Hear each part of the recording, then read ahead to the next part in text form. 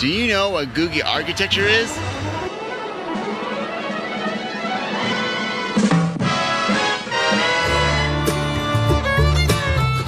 Howdy y'all, welcome to Adventures Kendall.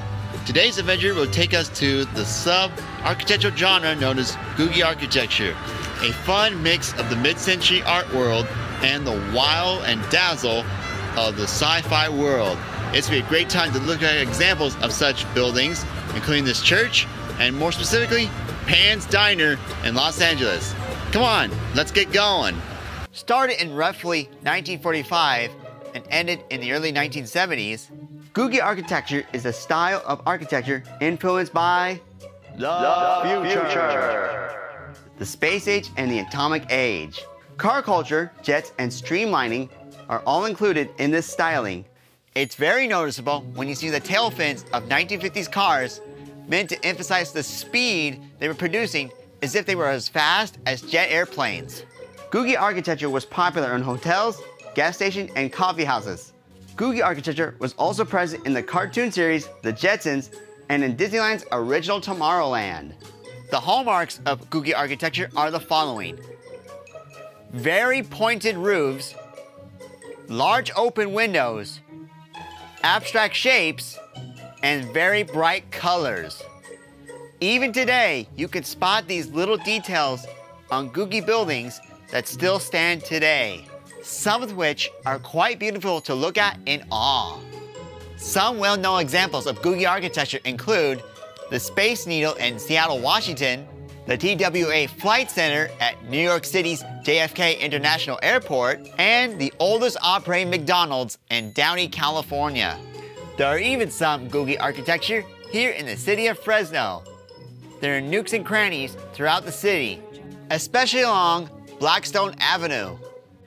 Some of these buildings are not in the best shape, but there's one complex in particular I want to pay attention to.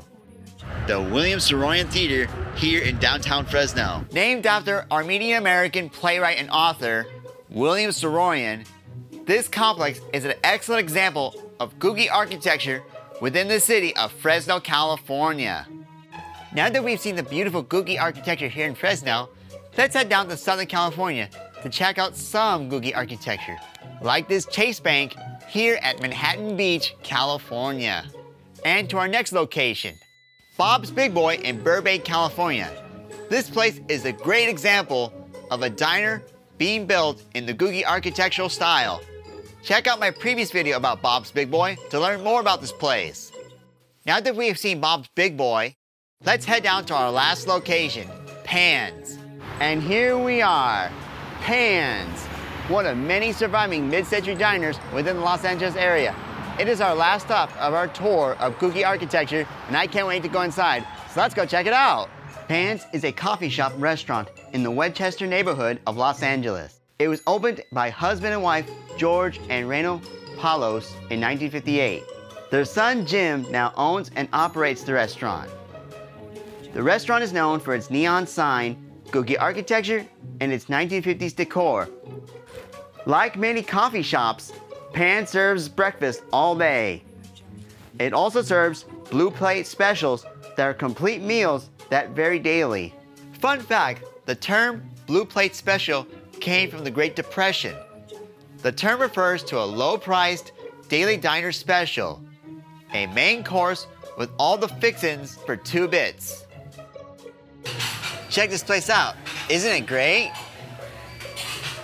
The menu is standard coffee shop and breakfast fare, which is my kind of place.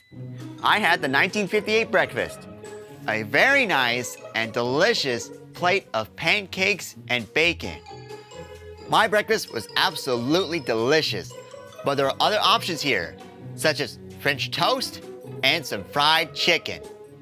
Because of its vintage decor and location within Los Angeles, Pann's has been featured in several movies, such as The Book Club and Little Miss Sunshine. Boy, I had a fun time telling the story of Googie architecture and exploring the remaining examples of buildings built with this style. And I had a fun time at Pann's eating a great breakfast. But now, let's head back to the studio and get ready for our next adventure. An exploration of the California water system Let's go! If you have a location for us to go on, comment or email down below. We would love to see your suggestions, and also subscribe and follow us on Facebook and Instagram. We would love to see your faces. Now that's all the time we have here on Adventures with Kendall. See you later, folks, and may your gifts bless the world.